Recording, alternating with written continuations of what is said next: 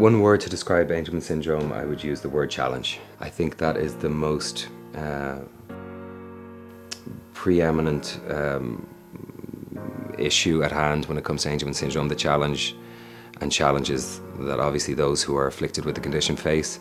Um, the challenge starts with those who immediately experience the, the results of having the condition, uh, the boys and girls and, and women and men um, in our global community. You know, with the challenges, there is this counterpoint to the challenges of this incredible achievement. And it's like I always said, you know, a child taking their first steps is a huge benchmark for any parent. It's something that, you know, if a parent isn't there for the first steps, they curse it for the rest of their days that they missed that first step. And well, imagine you're told that your child may never walk. Imagine what those first steps are like. Quincy's two. Uh, she's two years old. She um, has a deletion. She has Angelman syndrome, and um, she is an inspiration.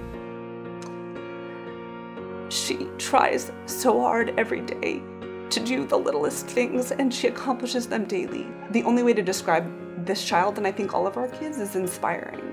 The members of our community who have Angelman syndrome have so much to say and so much to give and have dreams like you or I do and have hopes and have fears and have jealousies and all the you know, quintessential human emotions that we all go through are shared by those with Angelman's and just because there's uh, the majority of times no verbal speech and no verbal articulation doesn't mean that that wealth of feeling and that depth of emotional experience isn't being felt by every child and every adult who has the condition. I have awesome syndrome. Oops, I mean Angelman syndrome.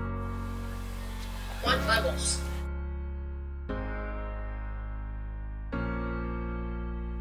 Two things really changed my outlook on the research that I was doing. The, the first was having my own children. Uh, and, and when you have a child of your own, you, you realize you would do anything for them. Uh, and I think the second was meeting the first child ever that had Angelman syndrome.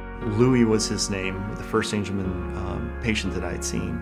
Uh, he was he was funny, he was gregarious, he was uh, a little mischievous um, and super friendly. And went against everything that I'd ever read about children with Angelman syndrome. And I think seeing that as well changes your perspective when when you see that the they're there. Um, they just need some help. One of the first angels that I met was Jackson, and uh, he was wonderful. He was very energetic, and uh, it it was a very human experience, I would say, to to meet him and to see him, and to get away from the disease that's on a written page and just see someone and realize, you know, yeah, we could do this. We could actually help people. Stevie and Billy, you know, two of the lads who are there who are now in their 20s who have Angelman syndrome and they're just they just do my heart such such a service. They're such a tonic to my very spirit when I see them. The first angel that I met was Ainsley. She's she's pretty unique very uh, creative, very uh, funny, you know, lots of personality. Going to the gala is a transformative experience. And seeing the families, seeing the angels, um, and just the whole spirit of the event is very moving. Last year was the first time that I went to the uh, Fast Gala and seeing all of the families there and their children and the passion that these people have certainly gives you a drive to keep going. These parents, they love hard and they work so hard. So it's the one night of the year where they get to they get to let their hair down and and have a night that yes is about their children but is also very much about them having a practical experience of getting a few drinks on and get, hitting up the dance floor. The community had a huge effect on me and I think meeting Angelman syndrome parents uh, with of children that had Angelman syndrome and and the children themselves changed my outlook quite a bit. Getting the opportunity to interact with the, the families and the individuals is probably the most rewarding aspect of, of, of what I do. The difficulties and the challenges that arise from the condition are shared by all. Um, I say that as a parent, and I say that knowing the hard work that James's mother, uh, Kim, does on behalf of James, advocating on his behalf. And I, I say that on behalf of the many parents and brothers and sisters and uncles and aunties and grandparents. There's so many things that I'd like to say to the community of Angelman parents, but I think the main thing that I would say is hope. I mean, there's so many things happening now in this community. I mean, with the research that's being done, with the pharma companies that are coming in, I mean, there's a momentum, and the momentum keeps building. The community is special. Uh, I've never seen anything like it. They're they're all focused on one thing, and it's their children. So if I could say one thing to the community, it, it would be thank you. It's an honor and a privilege, and, and I feel very blessed to be able to be in the position I am right now. You are an amazing group. Keep doing what you're doing, and I promise you, we will keep doing what we're doing as hard and as fast as we can. You're broken down and tired of living life on the merry-go-round.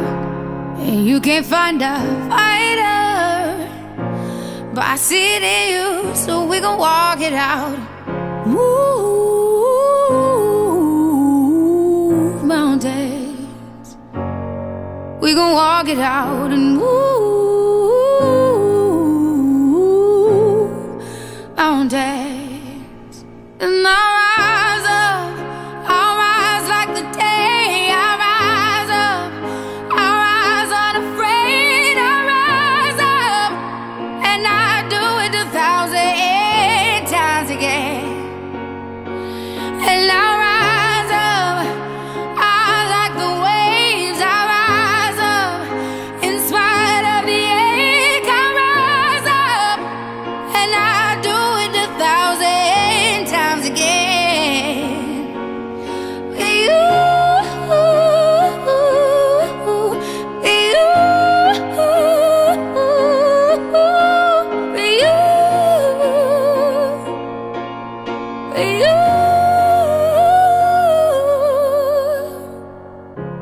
you. The silence isn't quiet, and it feels like it's getting hard to breathe. And I know you feel like dying, but I promise we'll take the world to its feet. Move mountains, bring it to its feet. Move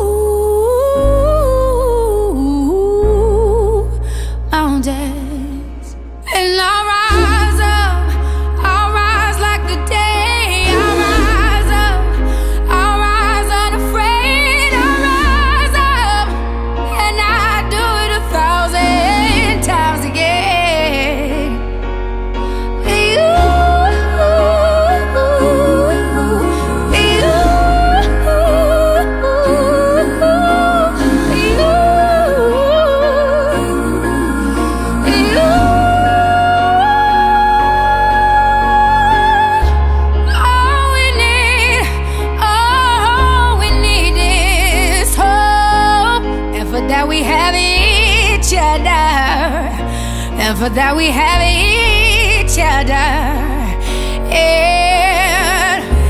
we will rise, we will rise we will rise oh,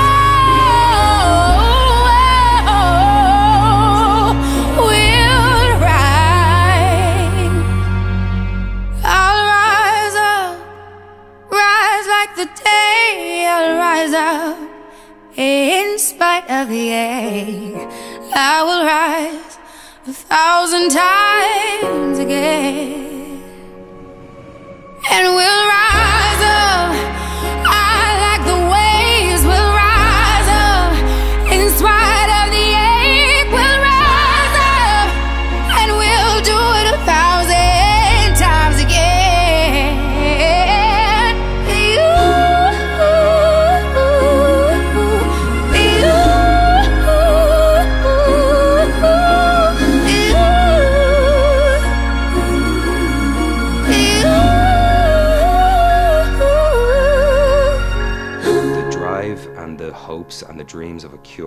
and the hopes and the dreams and the drive to achieve a better life for all our children is an incredibly intoxicating thing to be around and it, it kind of um, offers you a sense of, of a world that, that I would much rather inhabit than a world of, of not knowing. I believe that a cure is on the horizon, and we are working hard towards this goal.